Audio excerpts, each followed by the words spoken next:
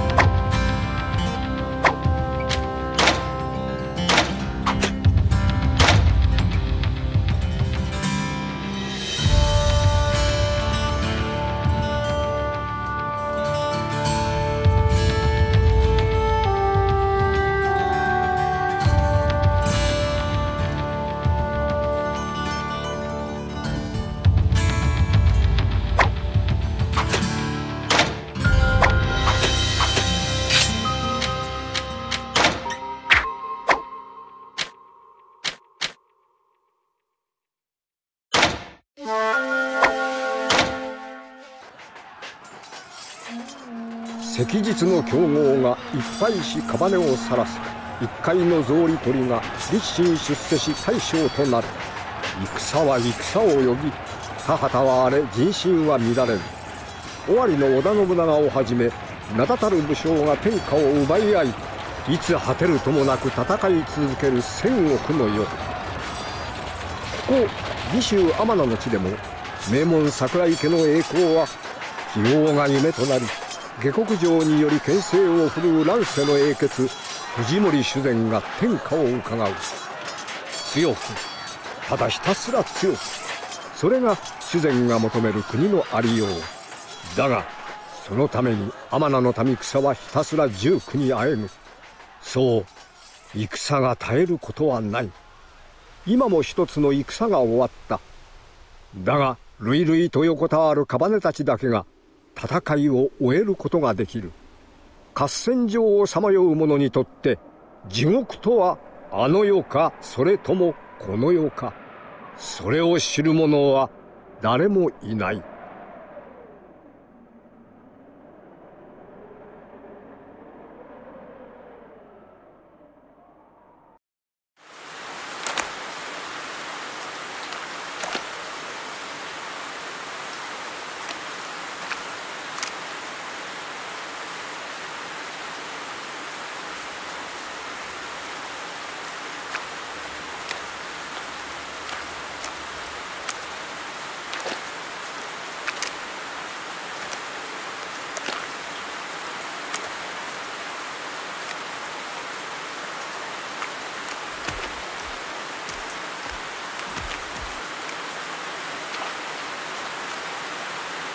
たまげたあの大戦で生き残ったやつがおるとはな。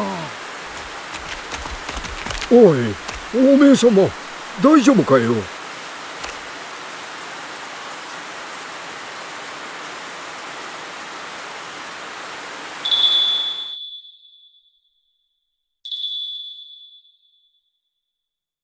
んどうしたおおおいおめえ様おめえ様よ。どうする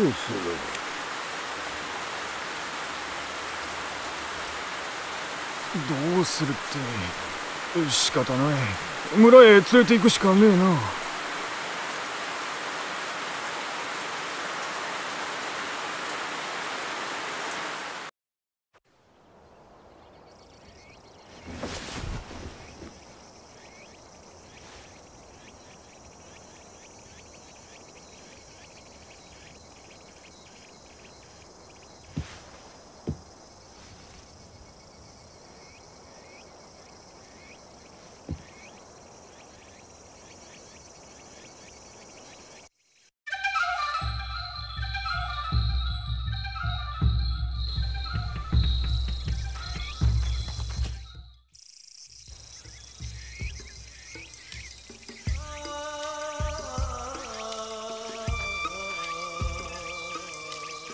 ここは戦場ではない。血の匂いを振りまきながら歩くな。このバカ者。わしらが口場ヶ原で倒れていたお前を助けてやらねば。ムクロになっていたのだぞ。ありがたく思うならこれ以上村に戦場の影を落とすな。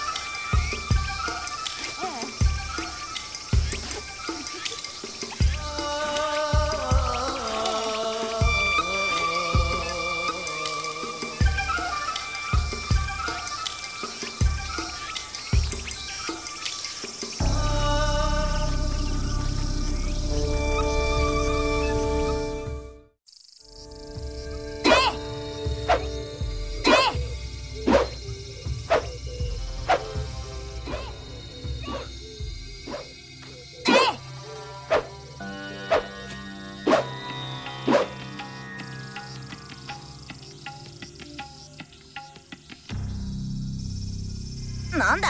お前は。侍が村の中をうろちょろするな。お前ら侍がいると姉ちゃんが怖がるんだ。帰れ。帰れよ。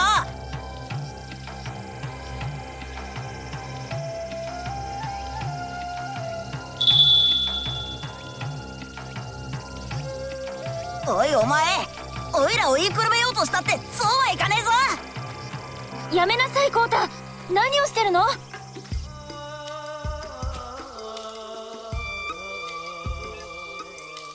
あコータ行きましょう。でもこいつが！いいから。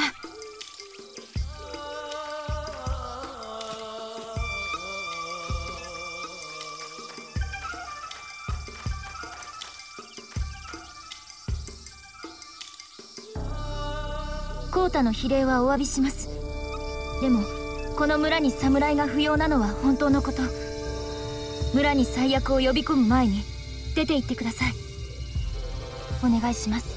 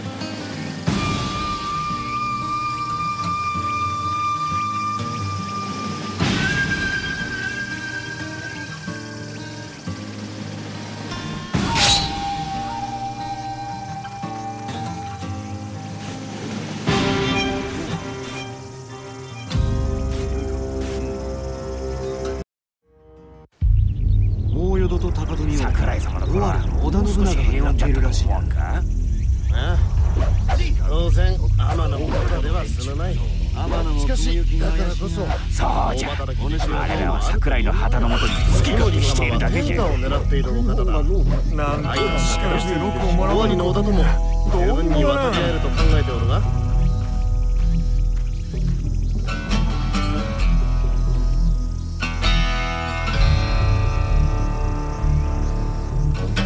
なかなか手だれが揃ったようだな。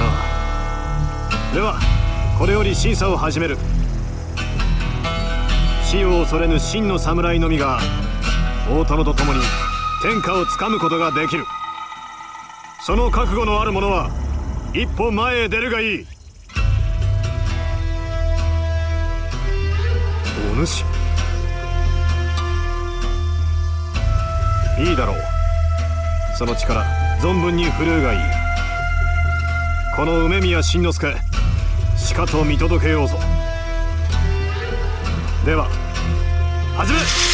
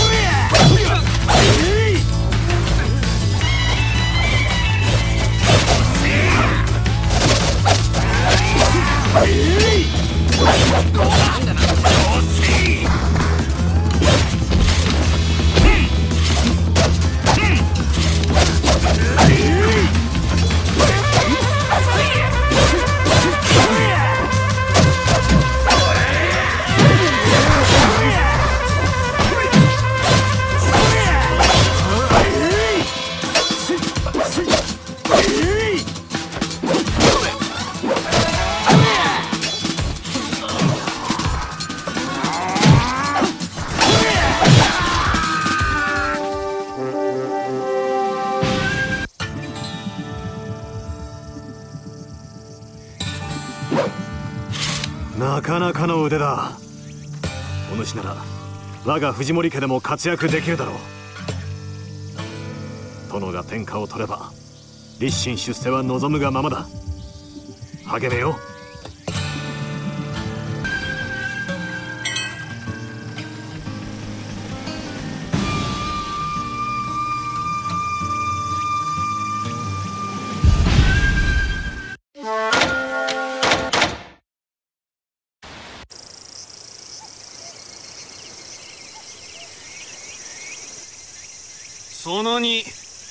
藤森の兵糧だな。こちらへ渡してもらおう。久しぶりの米だな。これで腹いっぱい食えるぞ。いえこれは。よこせ逆らうなら切る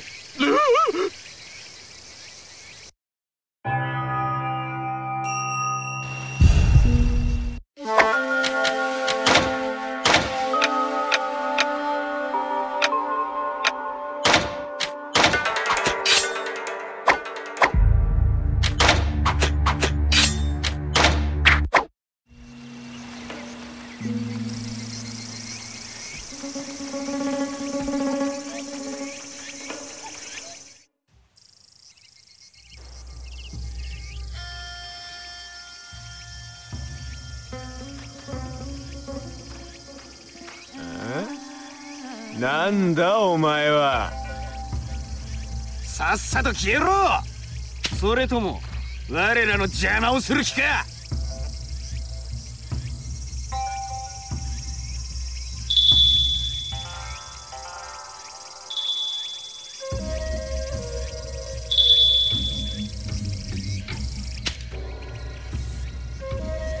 違う。我らは盗賊ではない。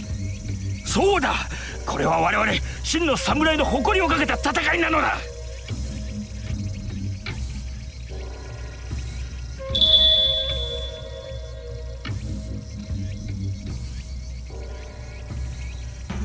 貴様！聞き捨てならんぞ。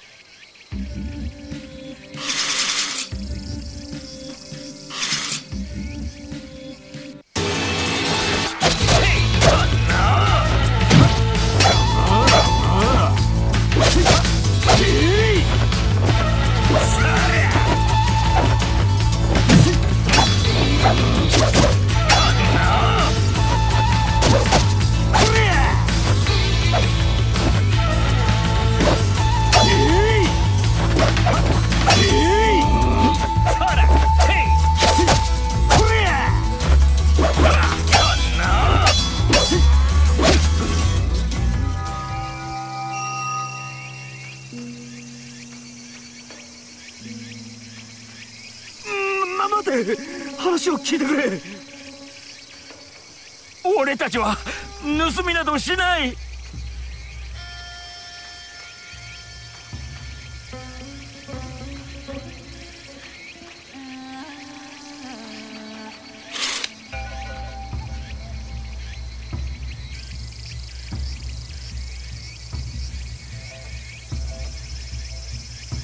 どうした？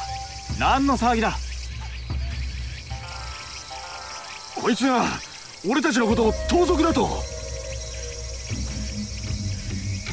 俺たちは大花島という桜井家復興の志を失わない。真の侍集団だ。これは敵の兵糧を断つ兵法だ。盗賊などと一緒にするな。お言葉ですがこのには町の米問屋が商った米でごぜやす。兵糧などと。そんなご大層なもんではごぜやせんが。何？俺は藤森の兵糧と聞いて。行け。お前らは先に帰ってろ。は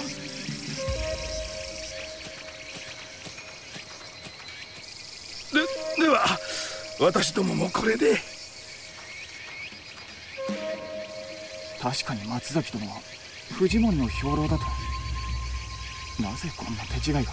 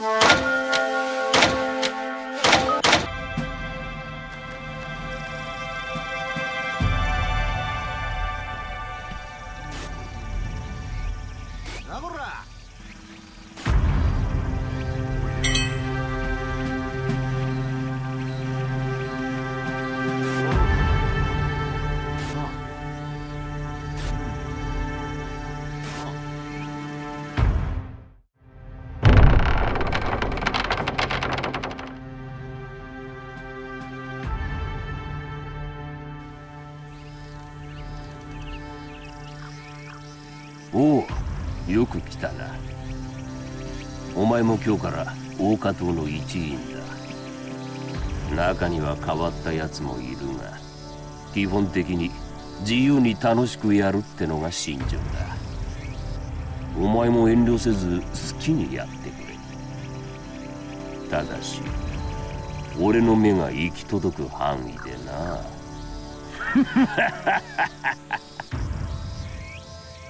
梅宮優馬だ。真の侍がまた一人馳せ参じてきてくれたか。よく来てくれた。歓迎する。俺たちと共に修繕を倒しもう一度桜の花を咲かせよ私は林道一世藤森修繕を倒すためにここにいる。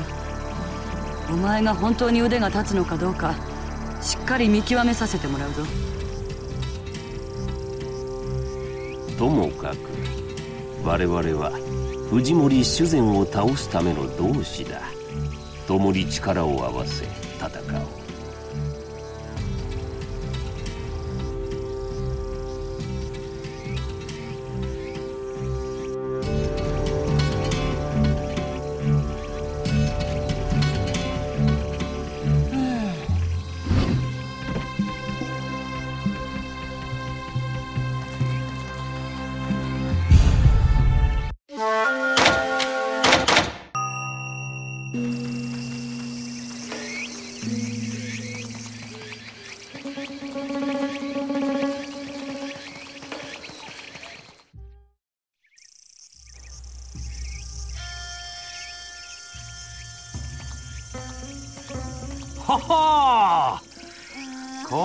は実に興味深い。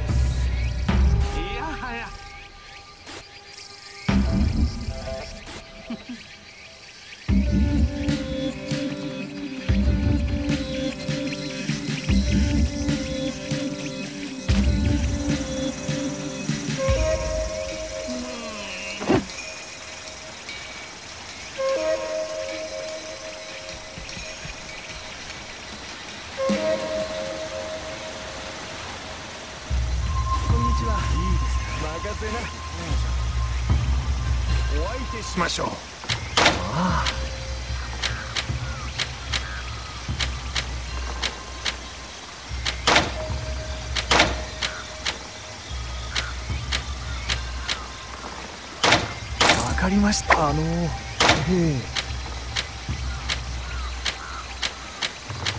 あの。またお越しください。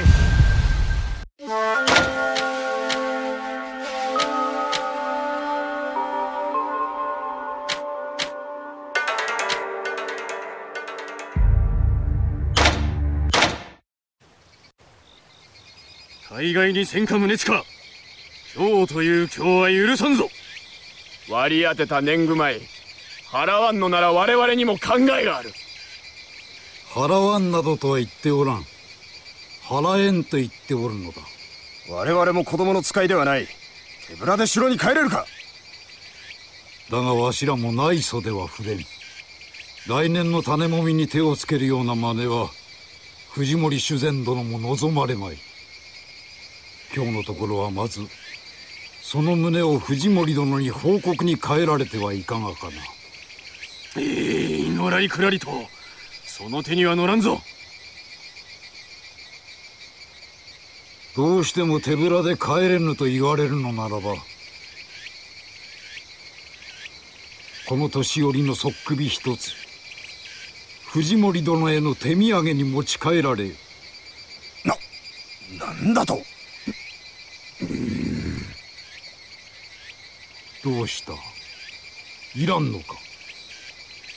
よもやわしの首では不足というのではあるまいな。元桜井家家老梅宮宗近の首そうそう安いものではない。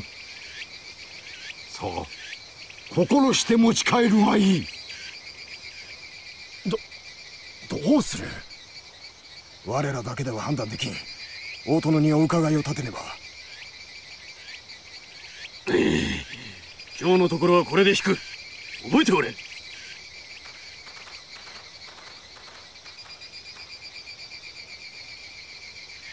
わしの首に用がないならお前もとっとと立ち去るがいい。わしの目の黒いうちは侍などに好き勝手はさせん。しかと心得ておけ。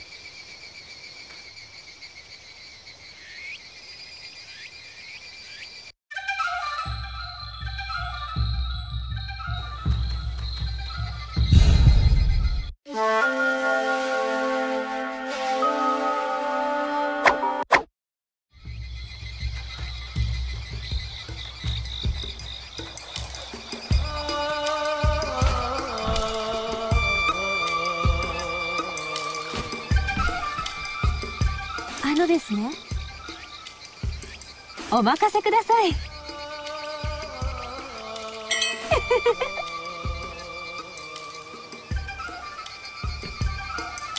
あら。はい。わかりました。お任せください。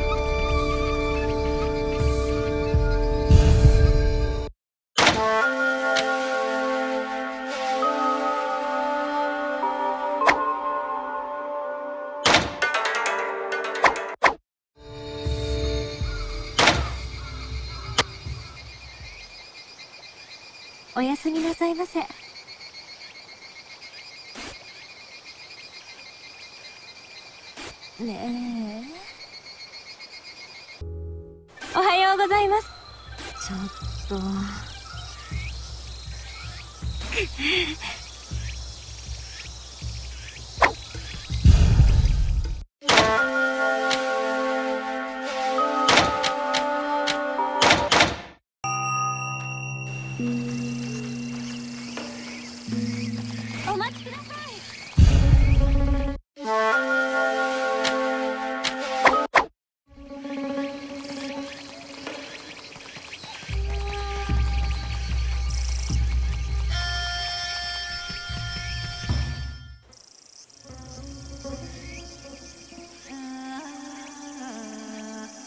いやー何ね。木々の隙間から村の飯の支度の煙が見えねえかと思いましてね。私は飯を炊く煙が大好きなんですよ。戦の煙が全て飯を炊く煙に変われば皆が幸せに暮らせるのにね。国がいくつもあるから戦が起こる。この世に国がたった一つなら戦なんてもんはなくなるはずですよ。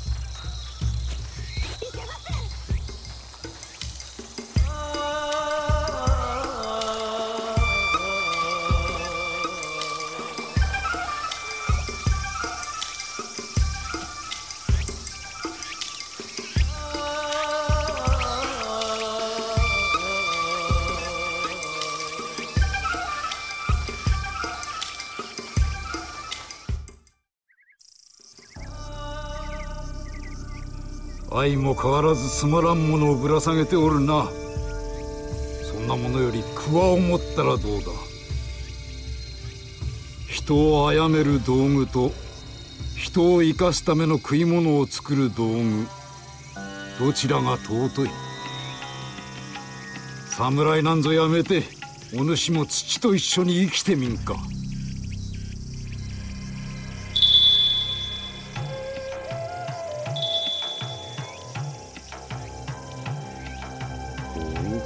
れは意外だな。そのような返事が聞けるとは。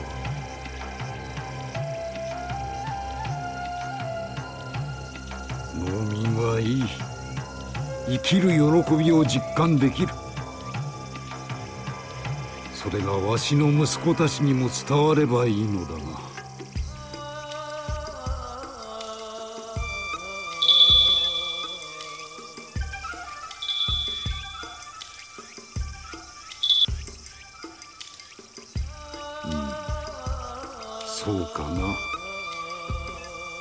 であってくれるといいのだな。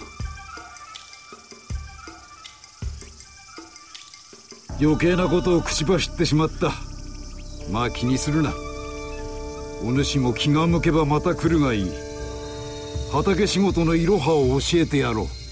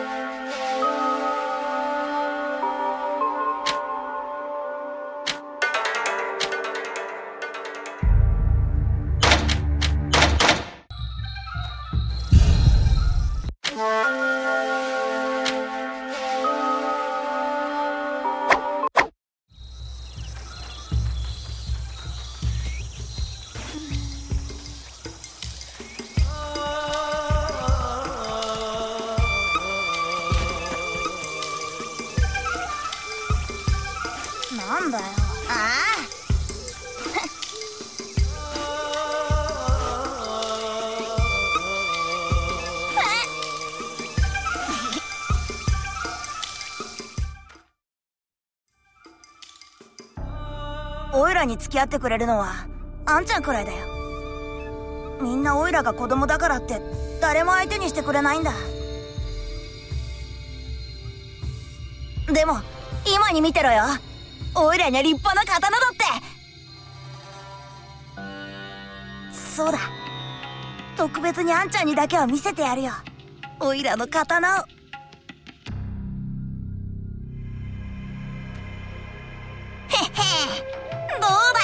桜の家紋。きっと由緒正しいお宝だぜ。これ会見って言うんだ。どうだい？驚いたかい？あ調子に乗っちゃった。やべえ。あんちゃんこれオイラが持ってたのは誰にも内緒だよ。特に姉ちゃんには秘密だぜ。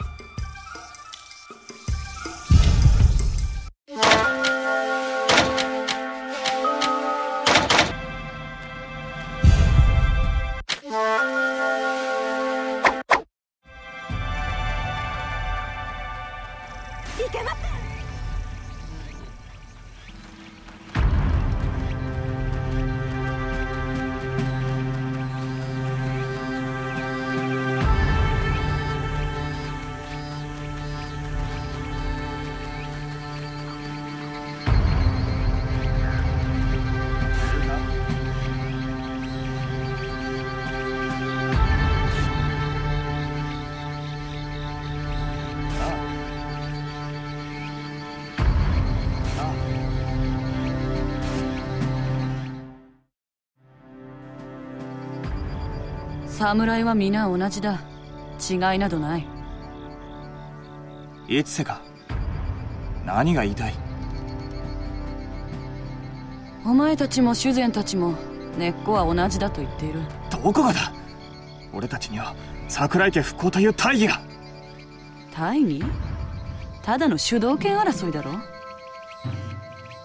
皆自分の都合で戦っているだけ巻き込まれている民人はいい迷惑だ私は修繕を倒すためにお前たちに協力する。大義とやらのためじゃない。みんな思惑があって集っているんだ。おかしな自負は捨てた方がいい。惨めになるだけだからな違う。俺は修繕によって苦しむ人々だって救いたいんだ。主君に忠義を尽くし民を救う。それが真の侍というものだ。ろ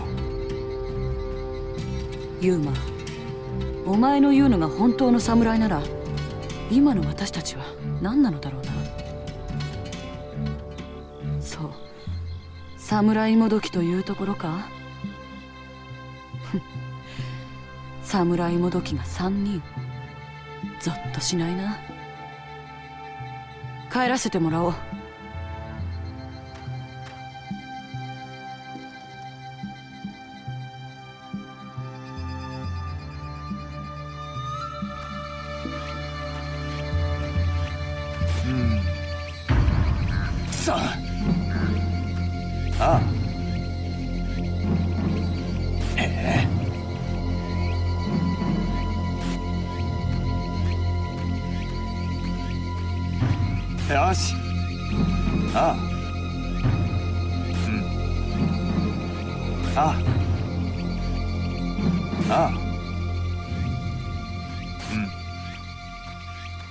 うん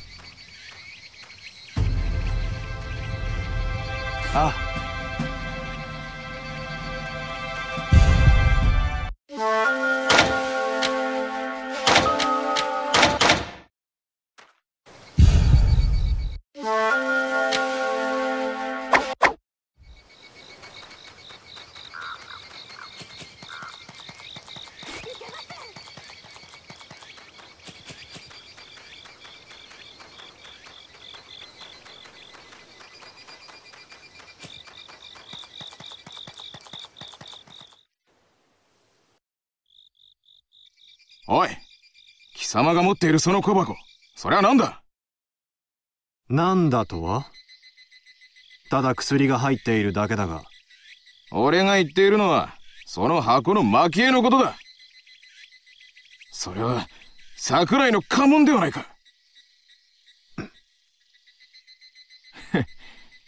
俺は知っているぞ。貴様がかつて桜井の三本刀と呼ばれていたことをなおかしいと思っていたのだ。桜井の中心が藤森家に仕官するなどな。昔の話はよしてもらおう。今の拙者は大殿に忠誠を誓っている。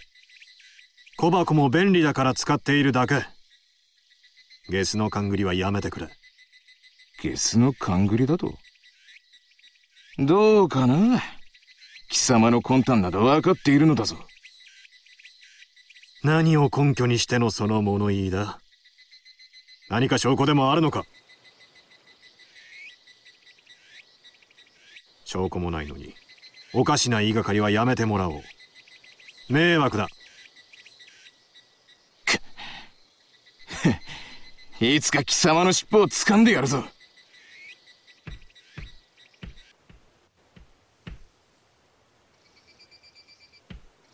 なんだ貴様何か言いたいことでもありそうだな。どうした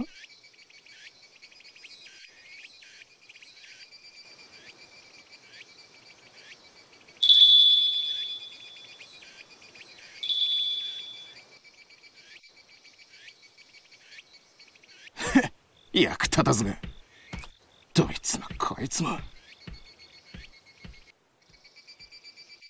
お主まさか。いや何でもない。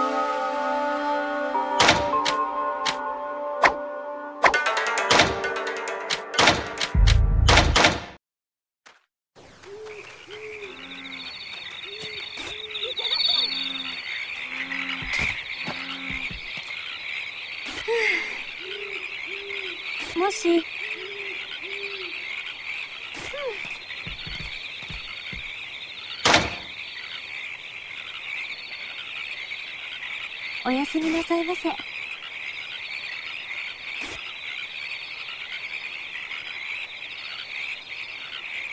ねえおはようございます。ちょっと。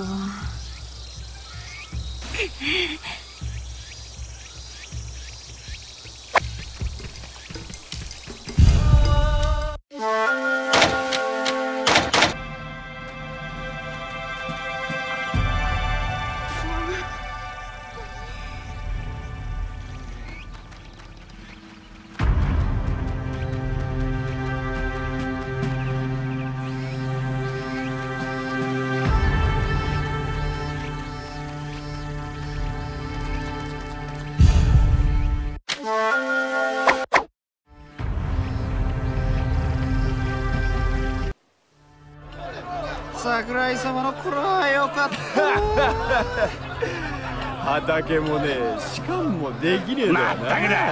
藤森のやつは全然ダメだ。まったくダメだ。上物の酒だ、ここにいる奴ら青病たんよ理想や大義で飯が食えるかってんだ。俺はお前に目をかけてるんだぞ。お前はここにいる奴らとは違うもちろん俺もな。美味しいところはしっかりいただくぜ。なあ兄弟。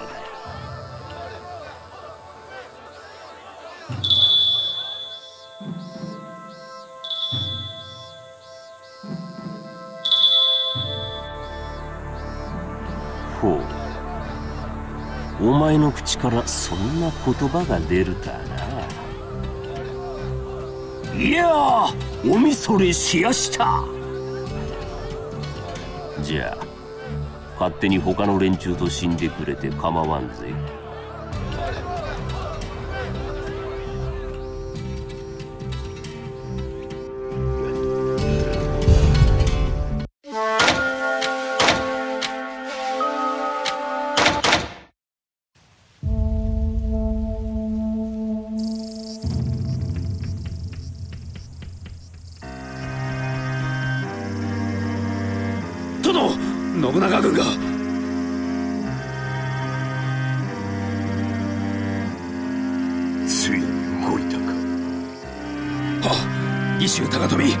義州大淀ともにわずか3日しか持たなかったそうです。義州三国のうち高富大淀が信長の手に落ちたよ次は我が天中。どうされます殿？是非もない。遅かれ早かれ信長とは真の覇者をかけ争う宿命よ心中の虫をこのまま捨ておくわけにもいくまい。たとえ賠小なものであっても皇庫の憂いを消し去るのだ。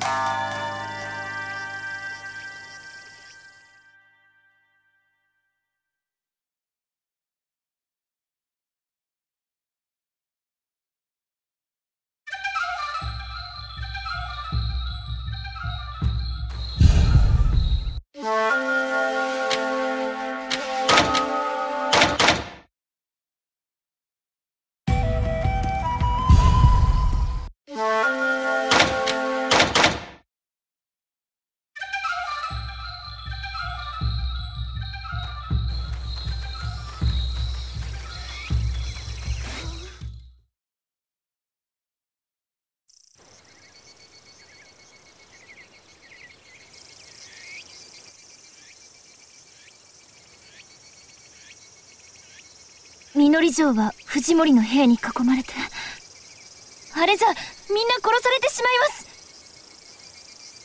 因果応報。今まで好き放題をやってきた信氏どもが報いを受けておるだけだ。わしらが関わるなどもってのほか放っておけ。でもそれではユーマさんが。あれとはもう縁を切っておるどこでのたれ死のうとわしには関わりのないことだ。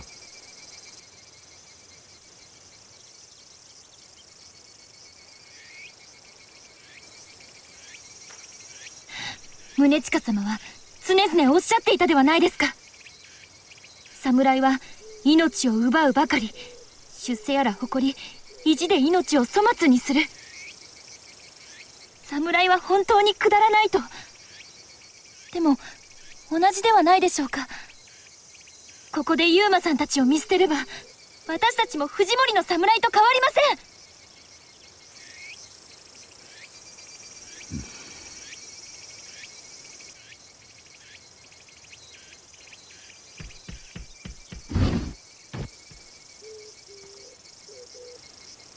ん。わしはわしは謝っておるのだろうか。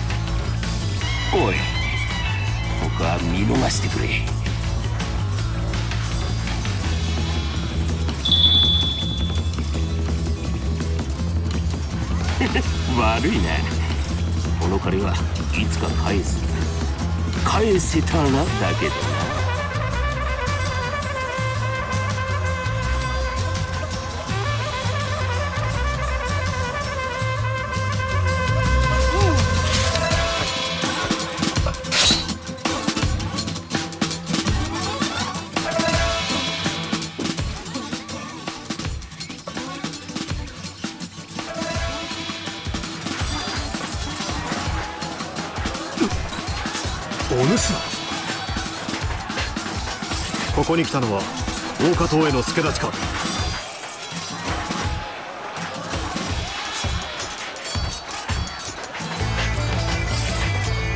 拙者は何も見なかったことにしよう。大加藤の連中はこの奥だ。さあ行くがよい。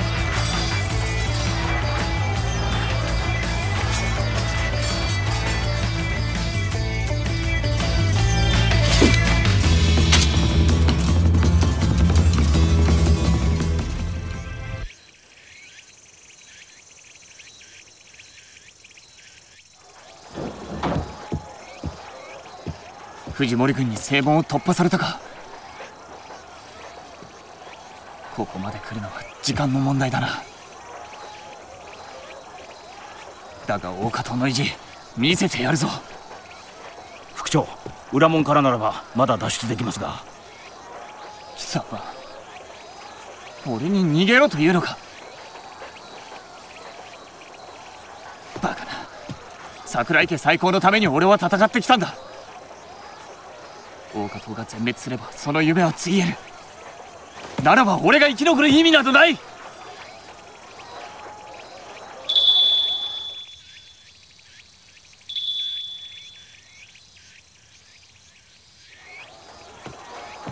お前のような奴に何がわかる。俺たちは命を懸けていたんだ。俺たちが滅びればもはやこの地に桜が咲くことはあるまい。一日先週の思いで桜井家再興を夢見てきた。その思いがお前にはわかるか！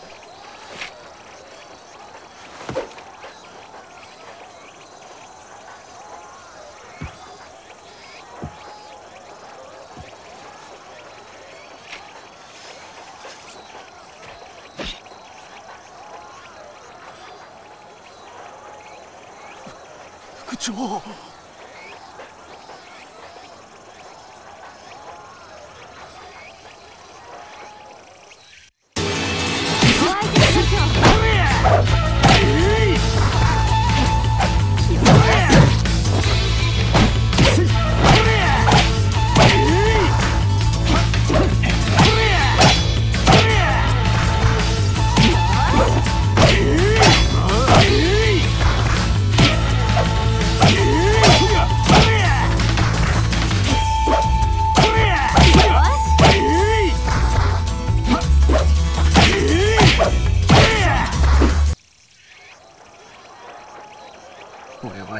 なる時も逃げることなく戦ってきた。それが俺の誇りだった。だが死ぬことだけが侍の道ではないと。お前はそう言うんだな。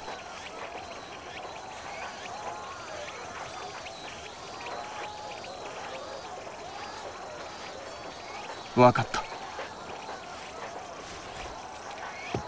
今はどんな恥にまみれても構わん。皆に伝えろ。各自の判断で藤森の包囲網を突破しろ。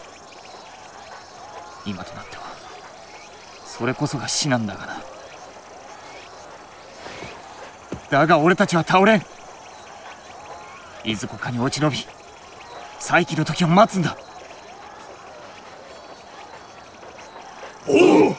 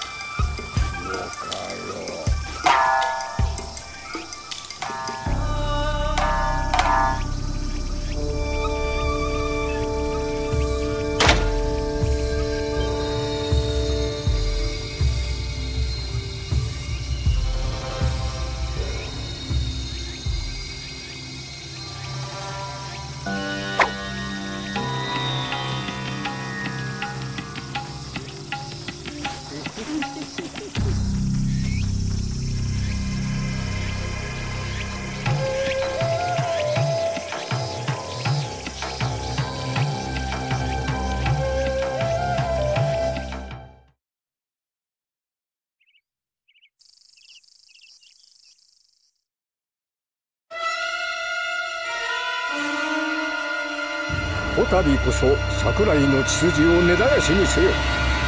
村娘おせいの正体が桜井家の姫しずるだと知った主膳はその抹殺に動く。天名を揺るがしかねないわずかな可能性をも摘み取るために。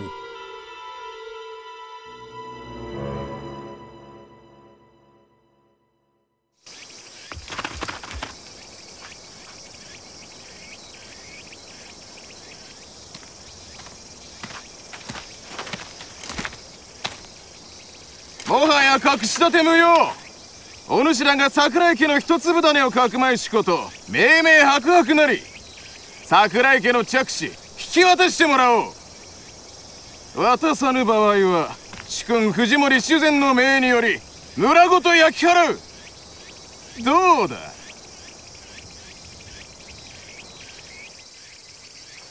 来たか。私のせいで村が体どうすれば。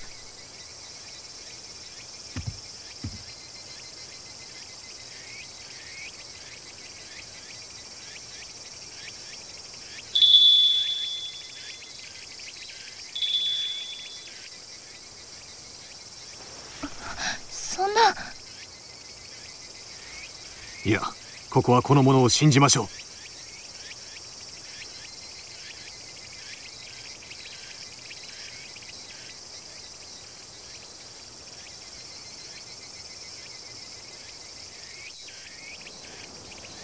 焼き討ちなどをしては桜井家の跡継ぎが誰なのか分からなくなりますぞ。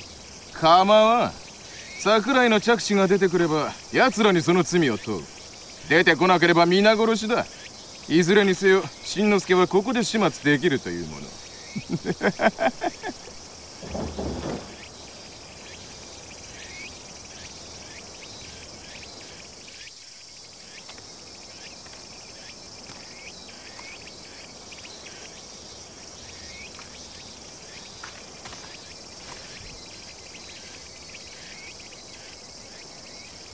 おおあれはまさしく桜井家の家紋。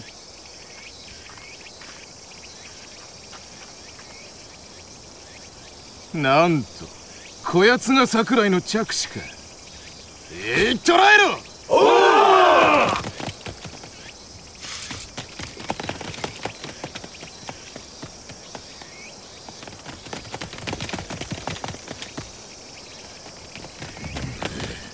おおとなしくしろ。いいかとしてろよ！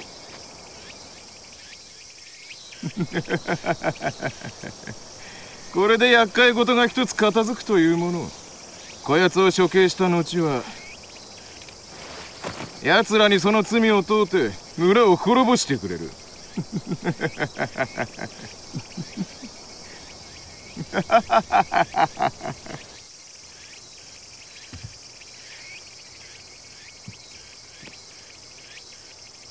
拙者は城に戻らねばなりません。あなたに疑いがかからぬようあの者を処刑せねばならぬゆえ。そんな。それがあの者の選んだ道なのです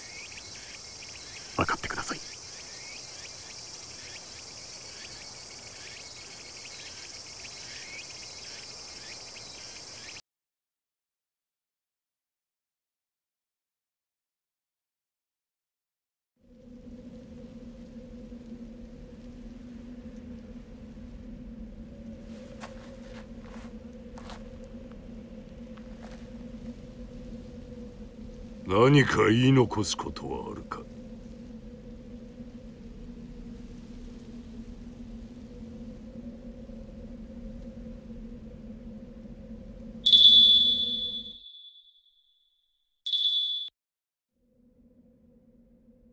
えい見苦しいわ！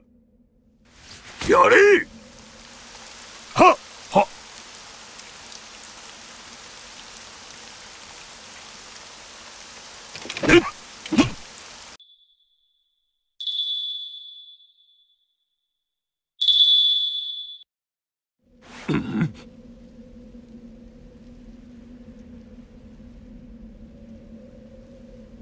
そうかだがお主にはあくまで桜井の着手として死んでもらう。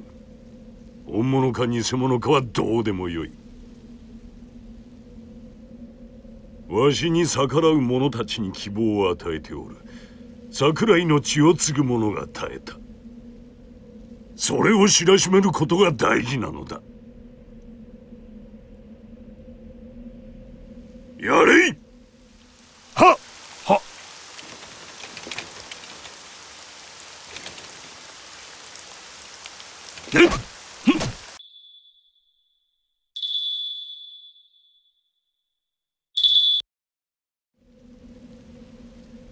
良い覚悟だお主のようなものを腹心として使ってみたかったが言うてもせんないことかやれいはは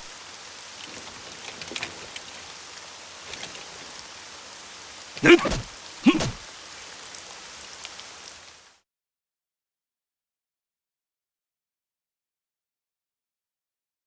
こそが全ての乱世において一つの村を救うために散っていった侍。人々はその侍のことを語り継ぎやがて仏として敬い祀った。この世は諸行無常流天の断りの中にある。だが侍が守った村は支配者を変え時代を超えながら長くこの地にありかの首なし地蔵はその村を見守り続けたという。